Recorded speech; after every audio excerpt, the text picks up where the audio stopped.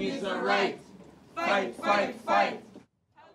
A group of protesters took their calls for better rent control to MPP Mario Sergio's office today. They are with ACORN, an advocacy group for low-income people.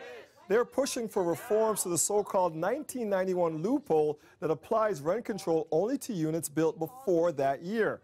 ACORN says the high cost of rent in the city is especially hard for people making minimum wage. A person works for minimum wage. By the time they finish paying the lower end, which is $1,200, they're left with $709. If then you have to pay for hydro out of that $709, you have transportation, you have food, you're going to eventually wear out your clothes, shoes, and dare we say put a little bit of entertainment in there? Can a person really and truly pay the high rent that's existing in Toronto and still live on minimum wage? We don't think so. The group also wants rent control to be applied to units, not leases. Sergio wasn't in the office to meet them. The group was told he is out of the country because of an emergency.